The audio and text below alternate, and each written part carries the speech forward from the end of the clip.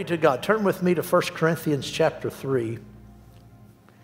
1 Corinthians chapter 3, a familiar verse, but I'm instructed of the Lord to read this. 1 Corinthians chapter 3 verse 16 Do you not know that you are the temple of God and that the spirit of God dwells in you? Now he's talking if you look at the context of this chapter he's not talking about the individual believer being the temple of God. He does that is a Bible truth. And we see that over in 2 Corinthians. But here in 1 Corinthians, he's talking about the church as a, as a body. He's talking about the local church. The Amplified Bible says, Do you not discern and understand that you, the whole church at Corinth, are God's temple, his sanctuary, and that God's Spirit has his permanent dwelling in you? Well, that would apply to us here. Amen. Amen. We are God's sanctuary. I'm talking about collectively as a local church. We are his temple, his sanctuary. And that God's Spirit has his permanent dwelling in us to be at home in us. The Amplified Bible adds collectively as a church and also individually.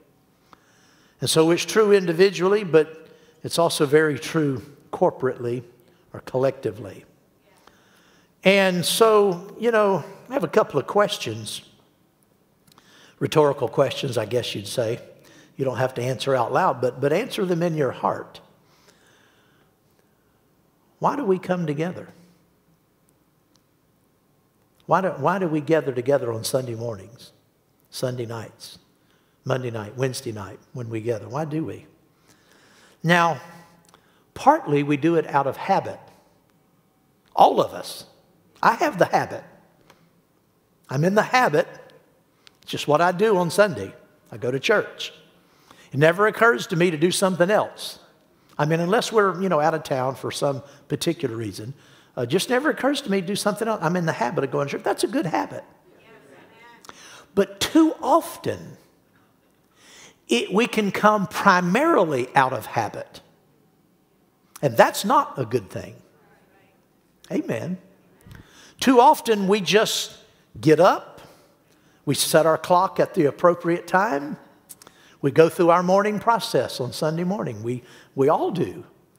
And we have our regiment and we have our schedule and we're, we're aiming to be here at a certain time, 1030, or if you serve in a ministry of helps, you're here earlier and you purpose to do that. And we're busy doing that. And that's, and that's okay. That's part of life. But in doing that, again, too often we forget the big picture of why we're actually here, why we're gathering together.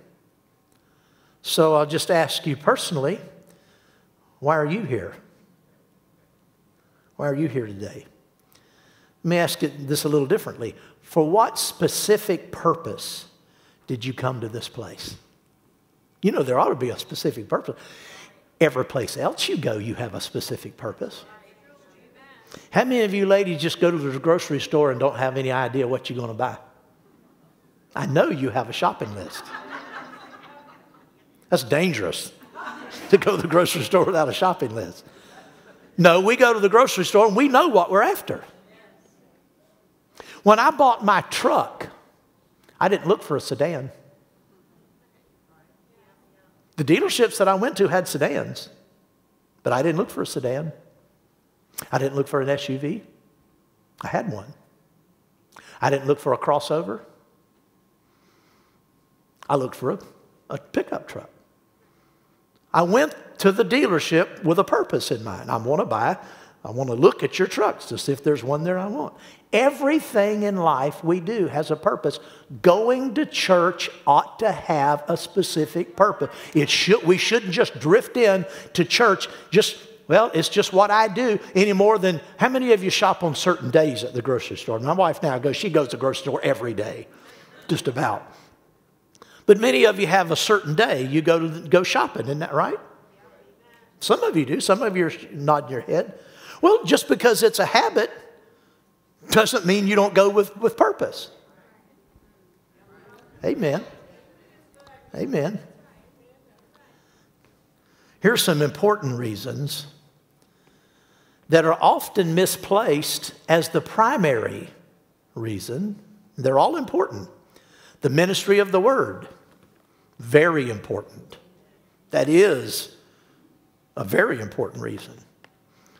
The ministry to the needs of people is an important reason for going to church and having church, conducting a church service. Salvation of the lost, the infilling of the Holy Spirit, healing, deliverance, encouragement, edification. Those are all valid things we ought to have. Fellowship with one another. Isn't that so sweet? Amen. We come in here and we, it's like, uh, it's like we haven't seen anybody, haven't seen one, one another in, in months. Just all talking, just having a good time. That's fellowship. That's good. But the true primary purpose for, for assembling together, and I'll show it to you from the Word of God, is to experience His presence. That's the primary reason.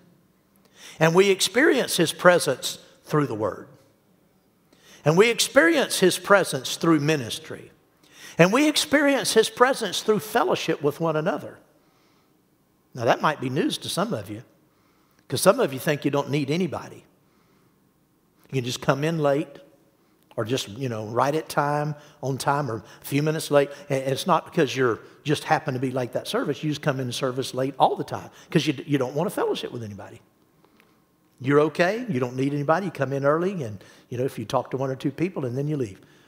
Well, that's not, that's not according to the scripture. So we do need one another. So fellowship is important. I'm not, I'm not minimizing the word, not minimizing fellowship, not minimizing uh, the uh, uh, ministry any of those things. But the primary person, purpose is to experience the presence of God. Both the Old and the New Testament reveal that God's purpose in calling his people together is that they might experience his presence and power.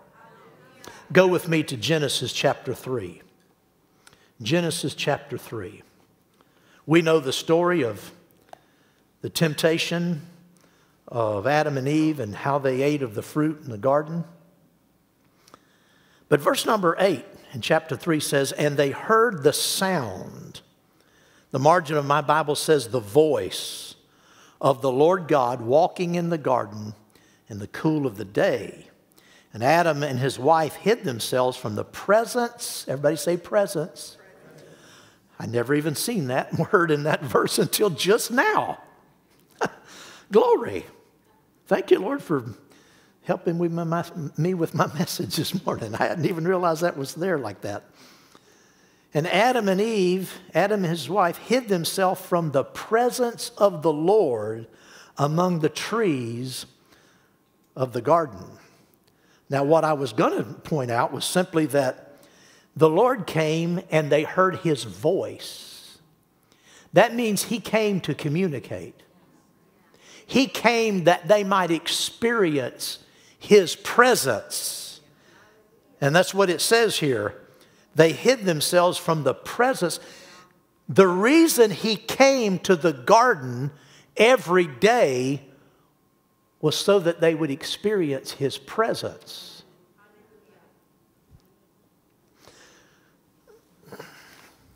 Don't want to be a litter bug have you looking at that the rest of the service. Praise the Lord. Go with me to Exodus 25. Exodus 25.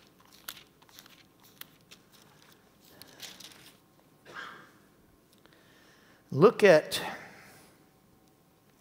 now this is Moses, what the Lord told Moses about the children of Israel bringing offerings and so forth. Verse 1 says, The Lord spoke to Moses, saying, Speak to the children of Israel, that they bring me an offering. From everyone who gives it willingly with his heart, you shall take my offering. And this is the offering which you shall take from them gold, silver, and bronze, blue, purple, and scarlet thread, fine linen, and goat's hair ram's skin dyed red, badger skins and acacia wood, oil for the light, and spices for the anointing oil. I mean, we, we've talked about that lately. And for the sweet incense, onyx stones and stones to be set in the ephod and in the breastplate. And let them make me a sanctuary. We are God's sanctuary. Remember that? He told the children of Israel, He said, Let them make me, told Moses tell them, let them make me a sanctuary that I may dwell among them. It's always been God's, God's plan to dwell among his people. He intended to dwell with Adam and Eve. He intended they experience his presence. But sin interrupted that.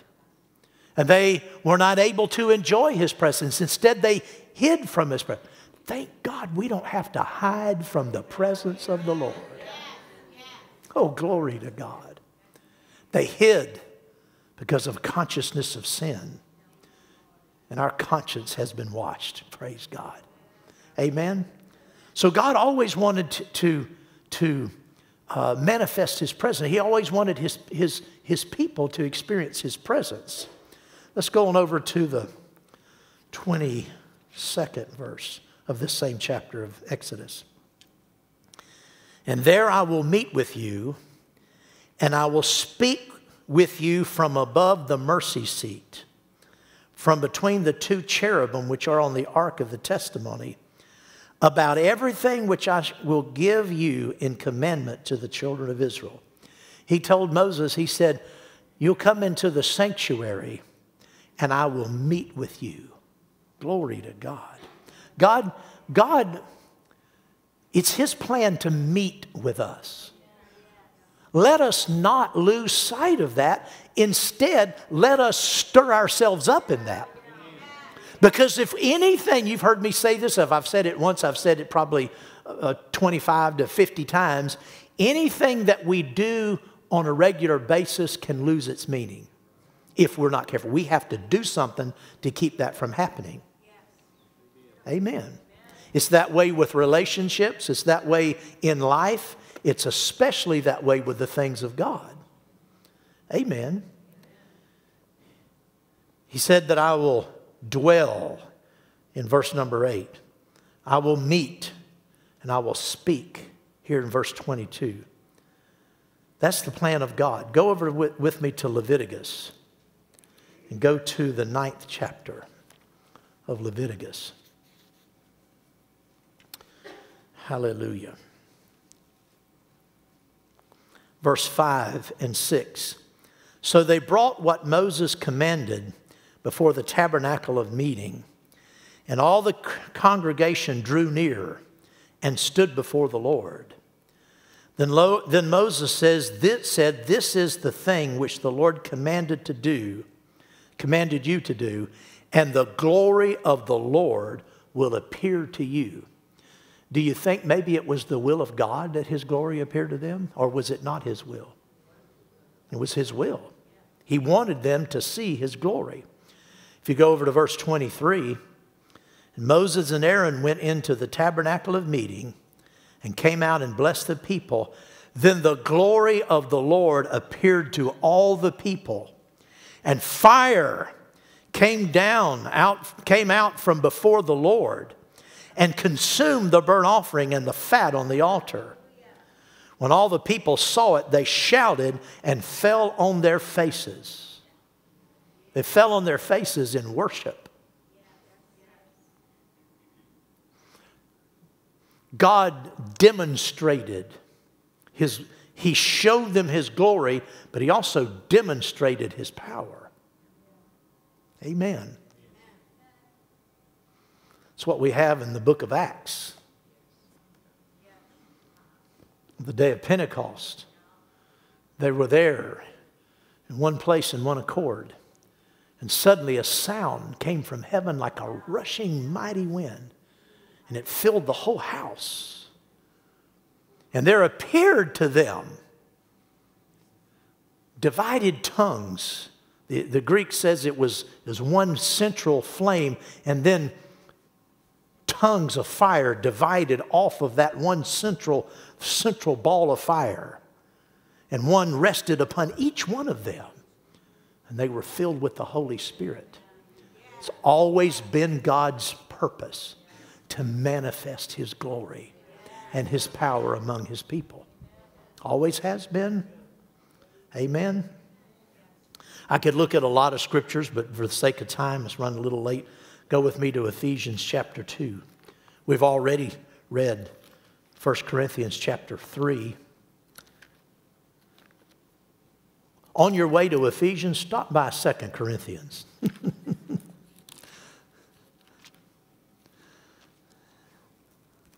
Joe Morris would say, just drift on over to 2 Corinthians and look at chapter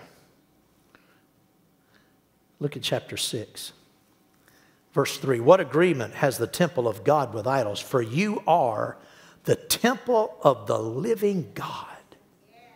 As god has said i will dwell with them and walk among them.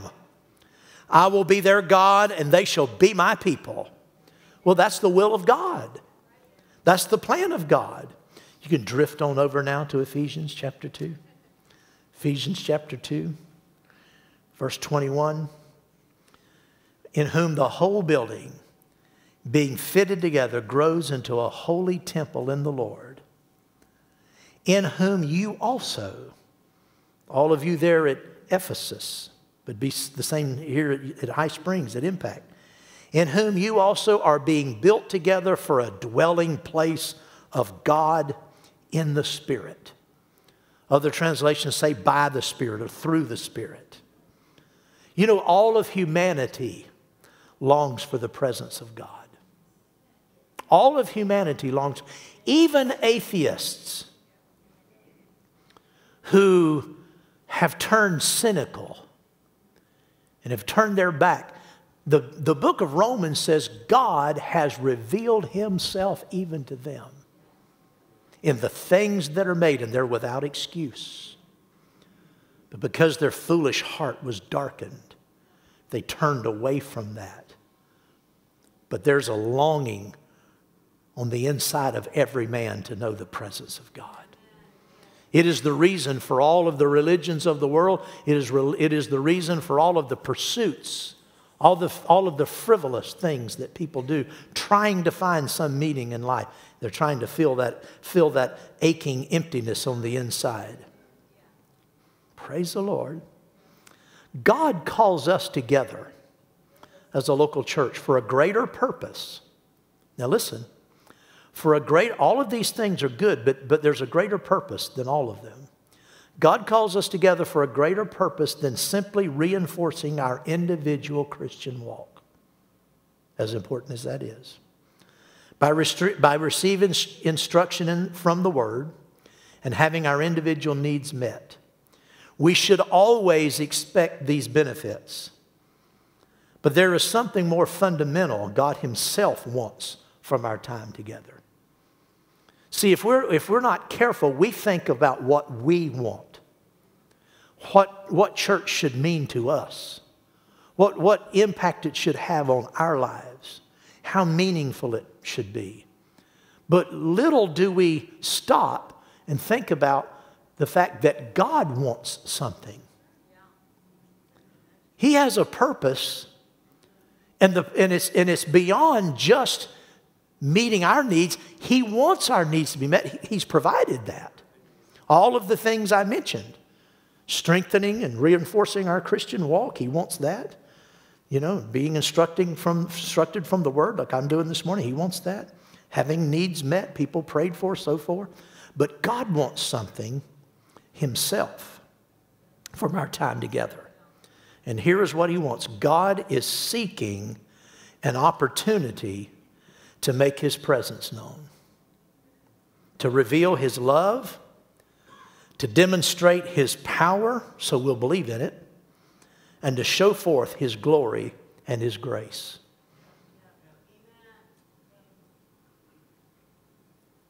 Not just show it to us, but all of these things, he wants us to experience his love. He wants us to experience His glory. He wants us to experience His grace. He wants us to experience His power. This is what He gets out of it. What God gets out of it, what God is after, is our experiencing Him. And it manifests in all these other things that I mentioned. And we, we looked at this last week. Let's look again at John, the fourth chapter, John 4. Oh, glory to God. Verse 23, Jesus was speaking to the woman at the well. He said, The hour is coming, and now is, when the true worshipers will worship the Father in spirit and in truth. For the Father is seeking such to worship him. God is a spirit. Those who worship him must worship him in spirit and in truth. Jesus said, The hour is coming. He said this to the woman at the well in the early part of his ministry. The hour is coming and now is. Well, the reason he said it that way is it, it is coming and now is, is, is that he realized he was right on the precipice, right on the point of the beginning of a new dispensation. He was the final voice, the final prophet, and the final sacrifice of the old covenant. And his work he knew was going to be short. And he was going to wrap it up. And then God was going to usher in a new age. And that's why he said the time is coming and it's really now. But notice, he said true worshipers. True worshipers. Have you ever thought about that? Have you ever just contemplated those two words, true worshipers? That infers that there can be worship that's not true.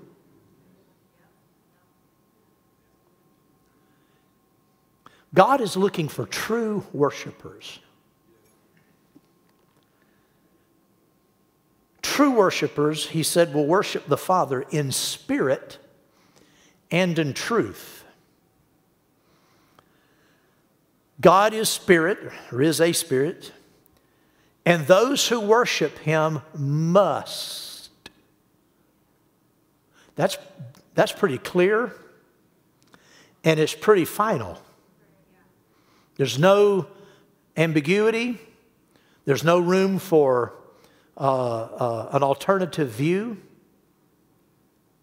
Those who worship him, he said, must worship in spirit and in truth. Must.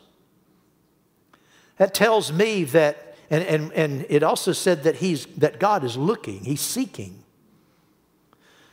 When you seek something, you don't seek something that's readily available because you can just take it. When you're seeking for something, you're having to look for it because it's not everywhere. I'm not seeking oxygen, it's all around me. God, this tells me that, that true worshipers aren't everywhere. They're not. And he knows that. And he knows who's a true worshiper and who isn't. And he's seeking, he's looking for. Can you get this? He's, he's, he's interested in finding. He's, it's important to him that he's seeking. God is seeking such to worship him. He is spirit, he is an individual spirit. Those who worship him must, M U S T, must worship in spirit and in truth. Well, what does it mean to worship in spirit and in truth? What, what does, what does that mean? Is it just a kind of a New Testament phrase? Go with me over to uh, uh, Philippians chapter 3. Go to Philippians 3 and look at this.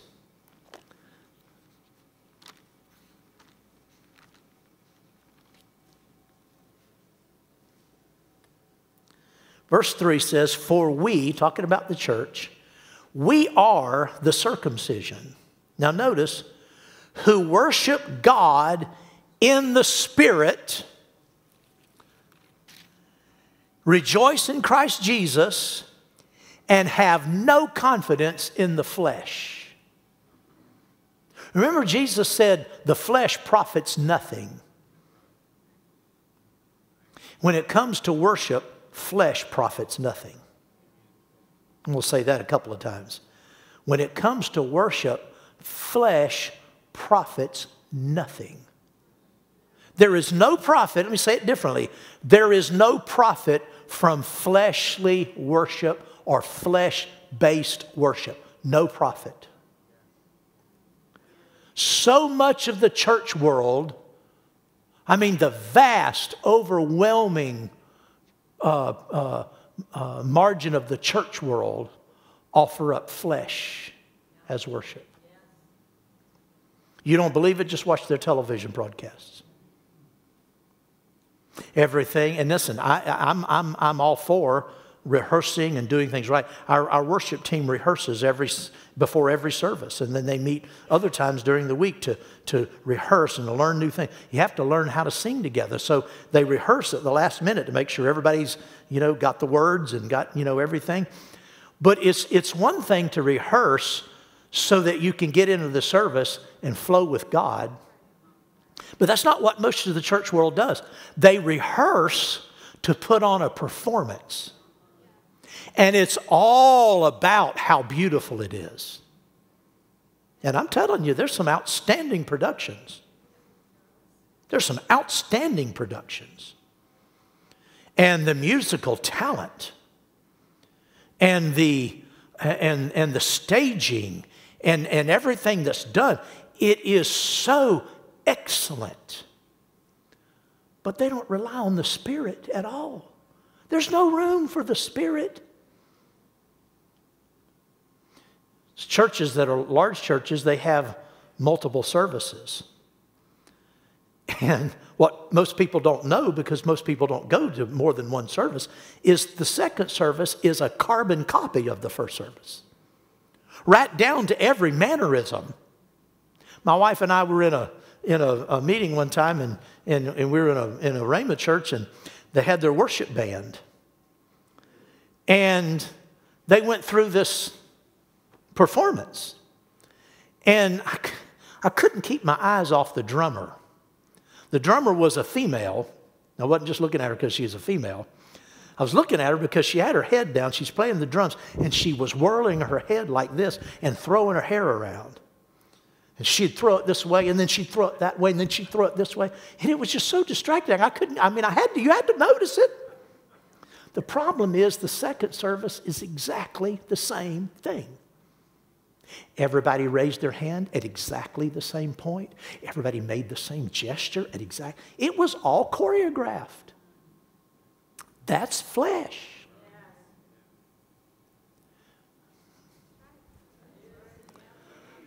God is seeking true worshipers who worship in spirit and in truth. I ask the question, what does that mean? Here, in Philippians, said, We don't have any confidence in the flesh. We put no confidence in the flesh. We worship God in the Spirit. The ASV, the Amplified Classic, that's American Standard Version, English Standard Version, Phillips Version, and the New Living Translation all say it this way We worship by the Spirit of God. We worship by the Spirit of God. All of those versions, that's the way they read. That's what worshiping in the Spirit is, if you didn't know. Worshiping by the Spirit of God. We worship God by His Spirit. That's worshiping in the Spirit. Uh, another translation, the, the New Century Version, says, We worship God through His Spirit through His Spirit.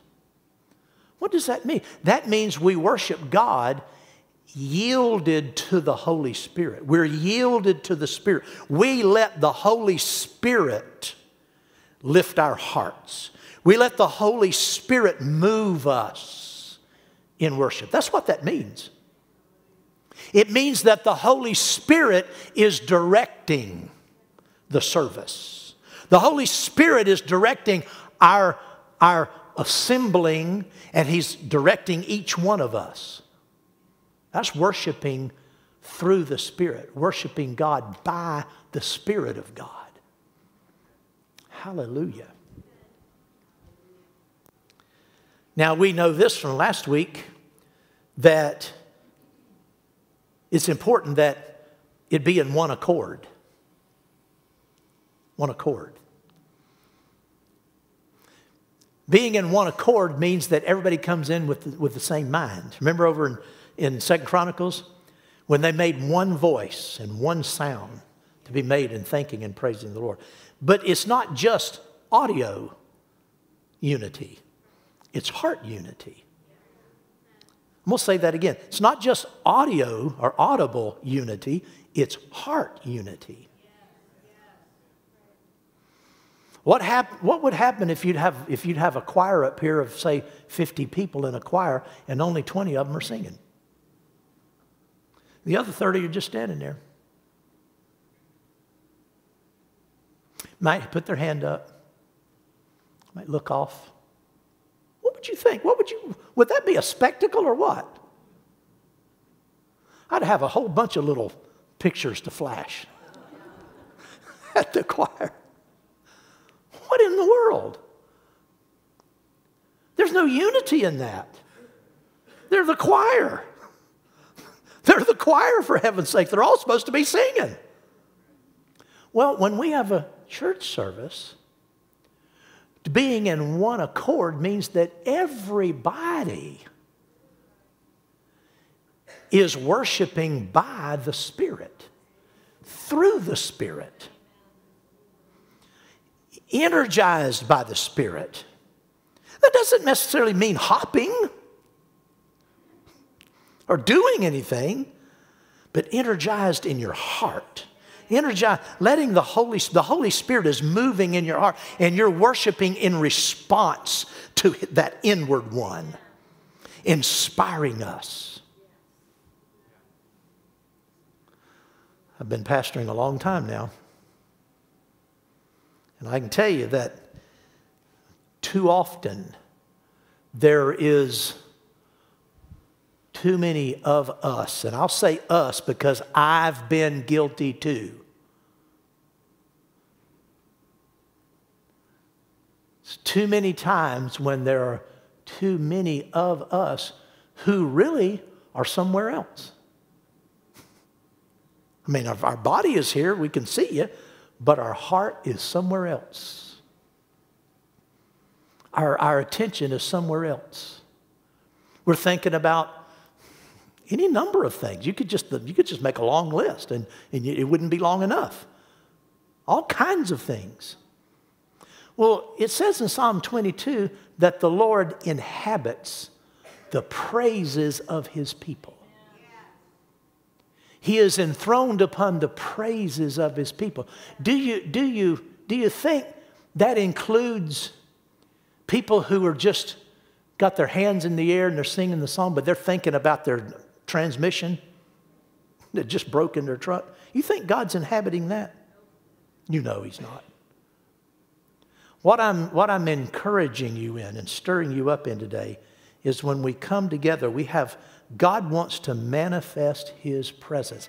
He, he, that's what He gets out. What does He get out of it? When He manifests it, then His presence and His, His glory his love, His grace, His mercy, His goodness, all of that becomes more real in us. That's what He's after. What does He get? He gets what we get. He is seeking our getting something. What a selfless God we have. He doesn't want anything from us when we meet together except that we open our heart to Him so we can get all He has. Glory to God. You can't even, you couldn't even make up a God that good. And other religions have tried to make up gods. None of them are like that. None of them are like our God. They're after all kinds of stuff. Our God doesn't need anything, He doesn't need worship. His only need is for us to give a, an opportunity for His benevolent, loving heart to be poured out. That's the only need He has. Oh, glory to God. Thank God.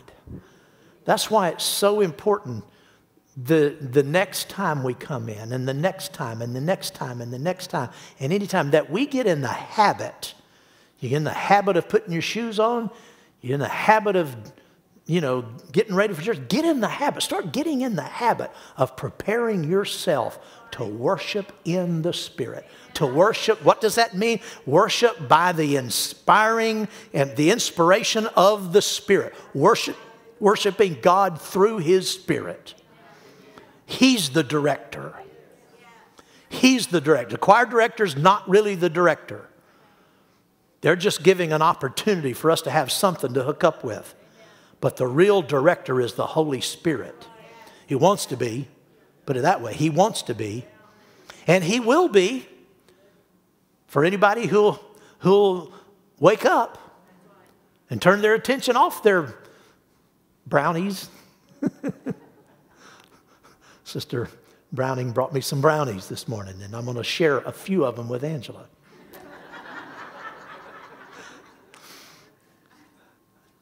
I better quit talking about that. I'll get my mind on that. we, have to, we, we have to purpose in our hearts. Am I making any sense? I, I know we know this, but the reason I'm saying is because we just know it but we don't always do it. We, I said we, we don't always do it. And God is seeking this. That should make a difference in your thinking. Jesus said the Father seeks. Would it be rewarding to you to know that God is seeking you?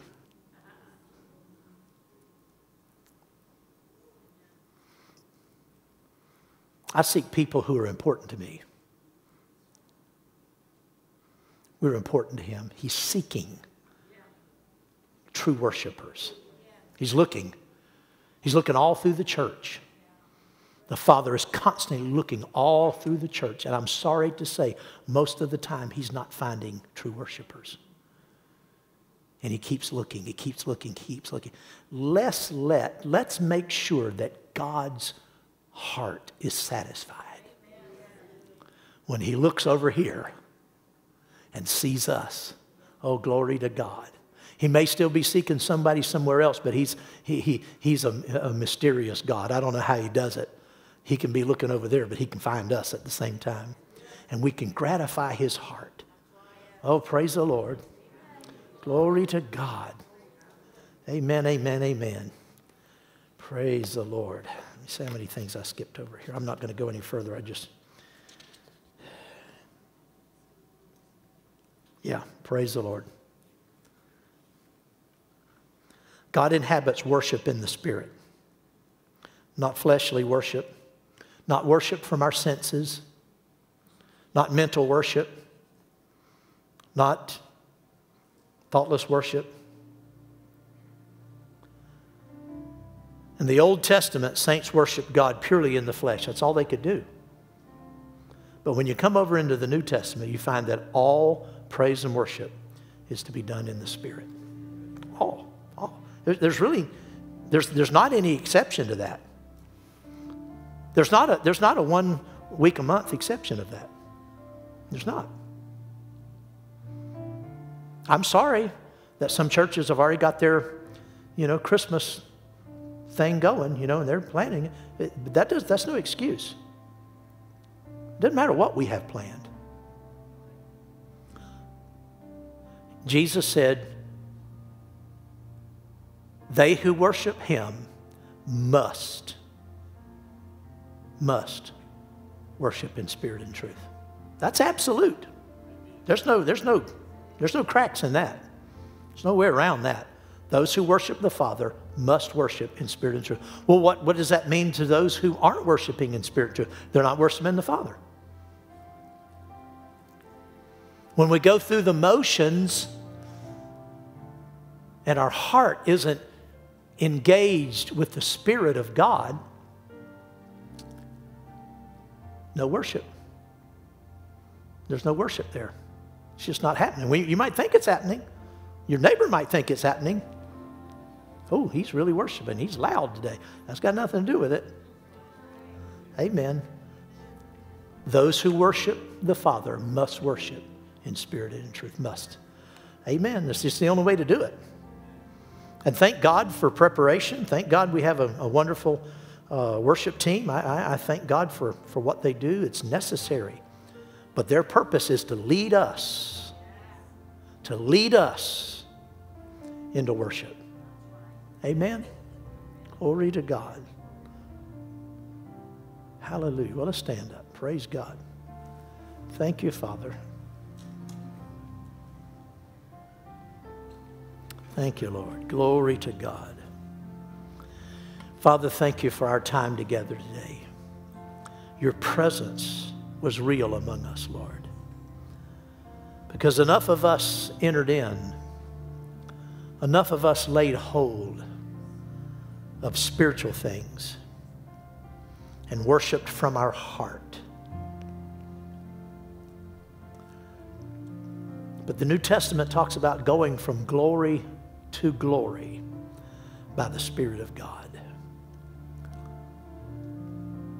So we're not disgruntled or condemned or have any negative feelings. We had a wonderful service today. We're thankful for that, Father.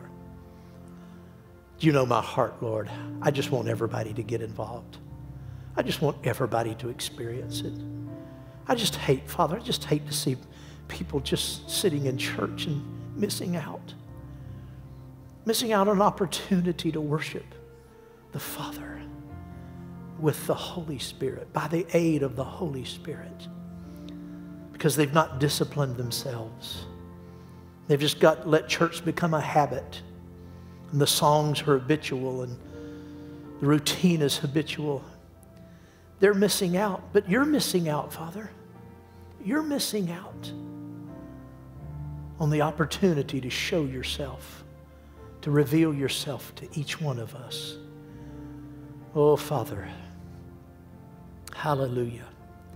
Thank you, Father. Thank you, Lord, for what we do have. Jesus told the church there in, Re- in, in Revelation, strengthen the things that you do have. Father, we need to strengthen the things that we have, and we need to be reaching for more. Not, not out of condemnation or guilt or anything like that. We just need to reach for more because there is more. Just because there is more is reason enough to reach for it. Just because it gladdens your heart, Father. Doesn't take anything away from us, it enriches us, but it enriches your heart, Father. Glory to God. Father, help us in our pursuit of your presence. Help us in our pursuit of your presence, Lord we do pursue your presence. On the one hand, we have your presence because your Spirit's in us all the time. We know that. But we're talking about your manifested presence. We do pursue that, Father, because that's not automatic. That's determined on a, on a daily basis, it's determined on an occasion by occasion basis, whether or not we're going to open our heart or not. So I pray, Father, that all of us will be moved to step up higher. Glory to God. Thank you, Father.